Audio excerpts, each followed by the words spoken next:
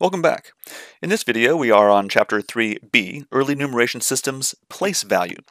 We'll look at what expanded form means, and we'll look at two ancient numeration systems, the Babylonian numeration system and the Mayan numeration system. Both of these systems use place value. Let's talk about expanded form. So when you see the number 84,729, you don't think of it as just a collection of 84729. Each of those digits has a different value. So the 8 really represents 80,000, and the 4 really represents 4,000. Its place in the number tells us how much it's worth. Now, where do we get those numbers from? Those are just powers of 10. So this is 8 times 10,000, 4 times 1,000, 7 times 100, and so on. And then, I guess, uh, 1 is a power of 10. That's 10 raised to the 0 power. So in fact, let's express these as powers of 10. And this is what it looks like. Now remember, if there are uh, 4 zeros, then that's 10 to the 4. 3 zeros, that's 10 to the 3. So when I finally write my number in this form, we really see it in expanded form. 8 times 10 to the 4 plus 4 times 10 cubed plus 7 times 10 squared plus 2 times 10 to the first plus 9 times 10 to the 0, which is just 10 to the 0 is just 1. But we see that the different places in the number have different values. The position of a digit in a numeral determines its value. If the 2 is the fourth one from the right, it's worth 2,000. But if 2 is third from the right, it's only worth 200. Now, how does this differ from the Roman numeration system, for example? Someone might think that Roman numeration is place value because, after all, if I write IV like this, it means 4, but if I write VI, it means 6. So doesn't position matter in the Roman numeration system? And uh, kind of, but here's the big difference, is that in Roman numeration, this I always means 1 no matter where it's placed. We're either adding to 5 or subtracting from 5, but the i always means 1, and the, the v always means 5, no matter where it is. And that's different from our system and other place value systems, where the position of a numeral determines its value. Hindu Arabic is a base 10 numeration system because the different place values are powers of 10. The Babylonian numeration system is base 60. That's kind of weird, right? Uh, so on the rightmost place, it, the value is 1, but then instead of going to 10, it's 60. And instead of 10 squared, it's 60 squared, 3,600. And then to the left of that, instead of 10 cubed, 60 cubed. So for us, in our system, our rightmost place, we can write up to 9. And then if I want to write a number bigger than 9, I need to spill over into two places. The Babylonians they could write all the way up to 59 in this one place. And then if they wanted to write 60, then they had to start spilling over into two different places. Okay, so how did they write 1 through 59? And here we go. so actually, 1 through 59 for them is an additive system. They use an additive system for 1 through 59.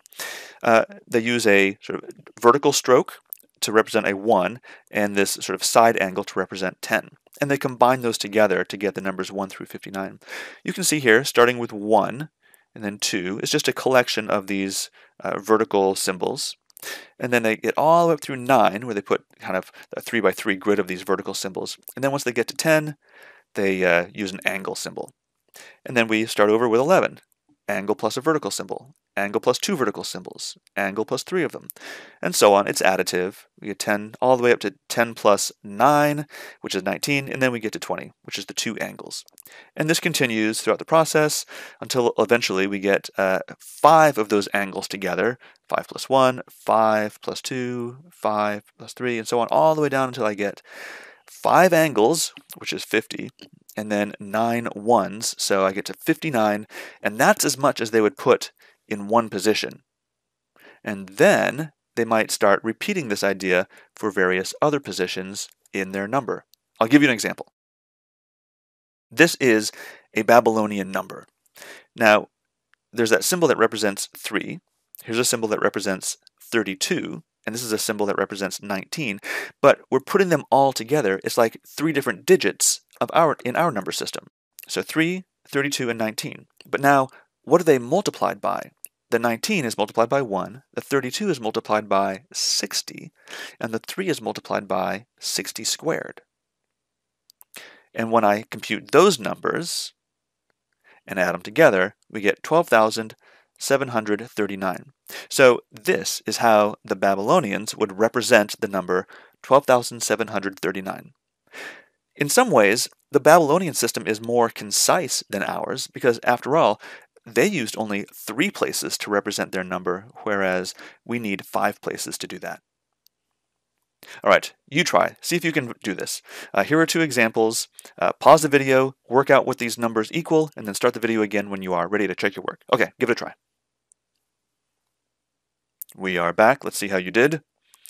So in this first case, it's 12 and 47. So the 12 gets multiplied by 60, the 47 gets multiplied by uh, 1, it just remains 47. Add them together, we get 767. In the second case, 5, 20, and 36. So multiplied by the appropriate place value, uh, 60 squared, 60, and 1. Add them up, and there we go, 19,236. So that's the Babylonian numeration system. Here's a neat photo I found of someone holding a tablet that actually contains uh, Babylonian uh, numerals on it.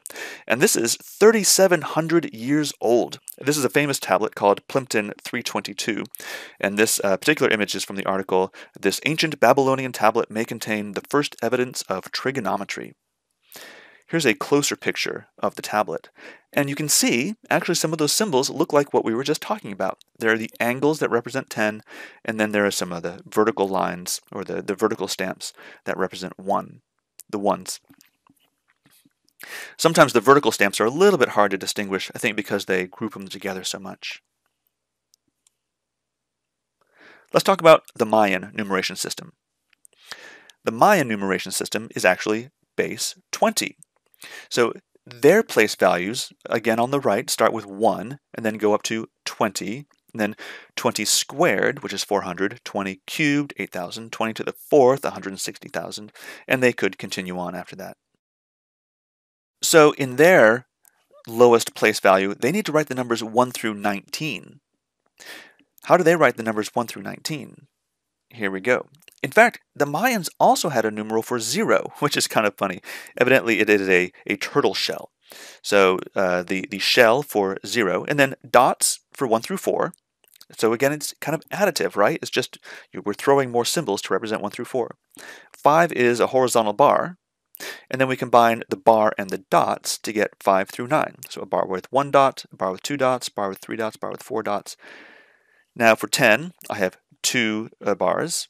And then 11, 12, 13, 14, I just add more dots. 15 gets the three bars. 16, 17, 18, 19. And that's where they would stop. That's the most that they had. Three bars and four dots. So they would use these uh, 20 different symbols in the various places of their number. Now here's an interesting twist.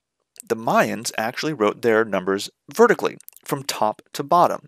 So like we would write our numbers from left to right, the biggest place value is on the left, they write their numbers from top to bottom with the biggest place value on top. Let's take a look at this number here. From top to bottom, it's a 4, a 12, and a 3. What are the place values that I'll multiply by? Well, on the bottom, that 3 will just get multiplied by 1. Moving up, the 12 gets multiplied by 20. Moving up, the 4 gets multiplied by 20 squared, or 400 do that calculation, add those results, and 1,843. So this is how the Mayans would write 1,843. You give it a try. Take a minute, try this thing out, see if you can figure out what the answer is, and then when you are ready to check your work, start it up again. All right, give it a try. Here's the answer.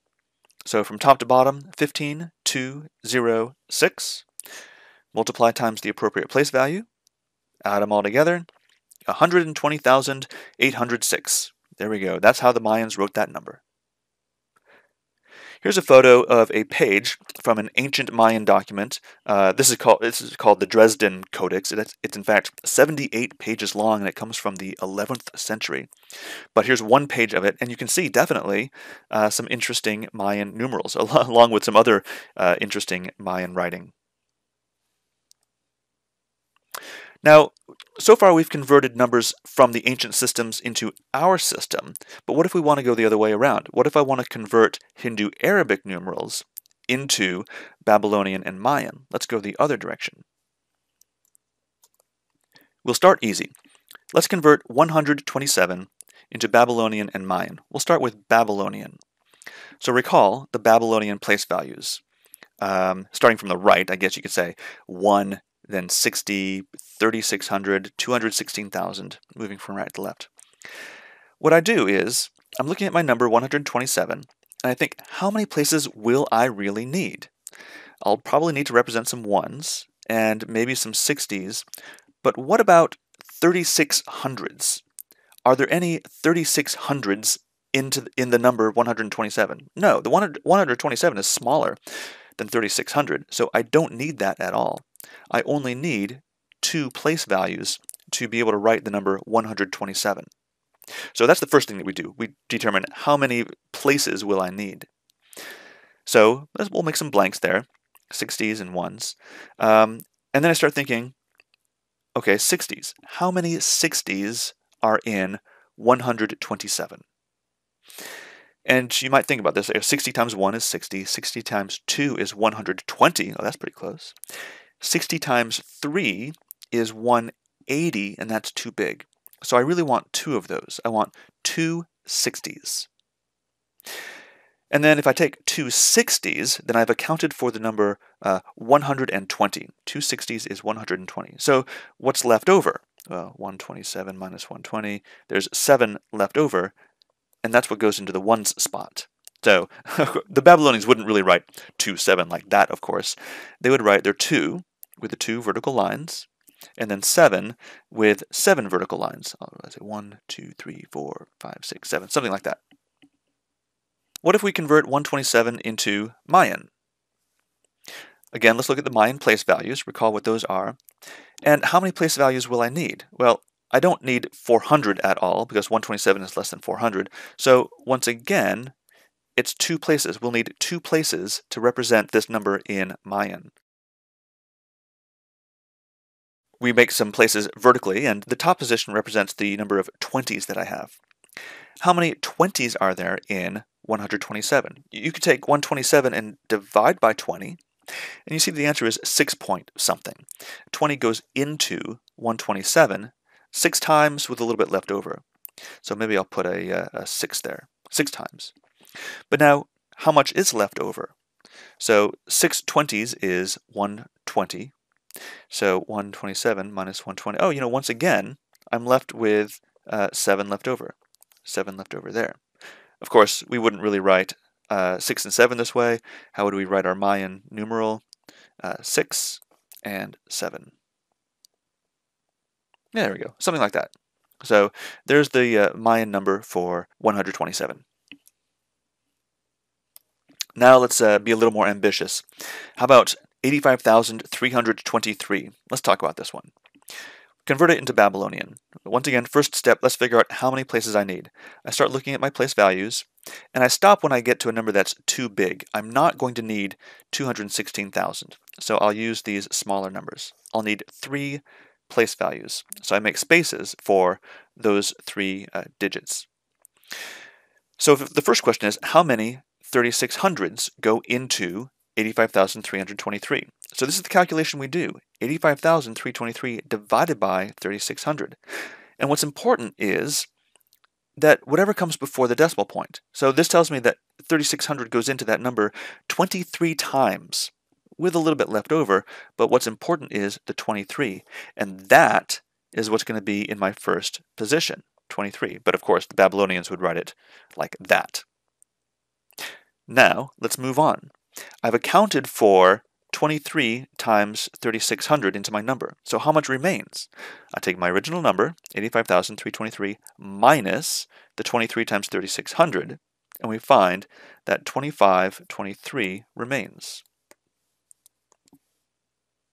So let's repeat the process on 2523, and we'll, we'll be making the number 2523 within the next two spots, the next two places. So how many 60s are there?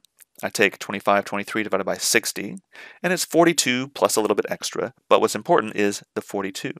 So 42 will go there.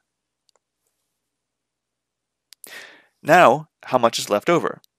So I take my 42 times 60, and when I subtract that from 25, 23, I find that there are 3 left over. And so that's what must go into the ones spot, is the 3.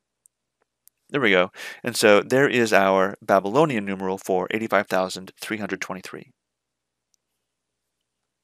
Let's play the same game with the Mayan numerals. I look at the place values, and it looks like in this case I will need four place values. I'll make some spots where my numbers will go, arrange four areas, and in the upper one, it's really telling me how many 8,000s are in this number. So I want 8,000 into 85,323. How many times does that go in there?